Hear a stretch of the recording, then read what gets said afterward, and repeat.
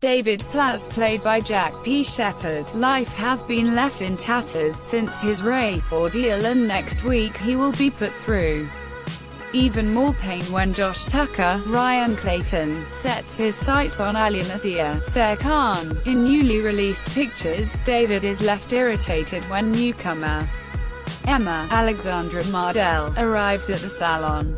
The hairdresser is furious when he discovers Maria Connor, Samia Longchambon, hired the 19-year-old as an intern without consulting him first. David has already been struggling at work and the prospect of change will no doubt upset him further. Later, Alya calls into the salon to say she has a date with Josh.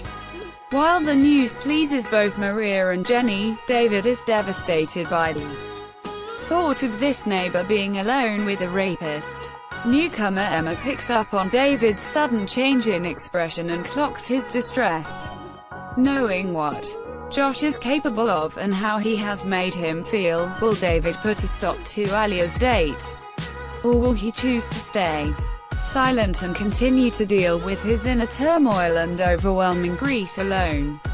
Meanwhile, can Emma get to the bottom of David's sorrow and make him open up about his torment?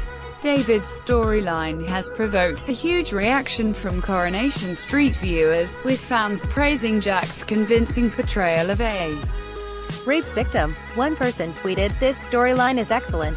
Can have this done to them. Congrats to the Corrie writers for putting it out there. Another added, Wow, David Platt is just breaking my heart. What phenomenal acting. Too dark. No, it's just life.